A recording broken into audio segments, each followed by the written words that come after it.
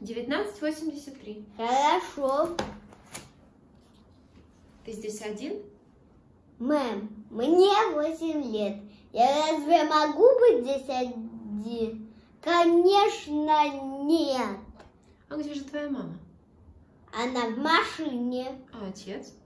Он на работе. А где твои братья и сестры? Я единственный ребенок. А где ты живешь? Этого я вам не скажу. Почему же? Потому что вы незнакомый человек.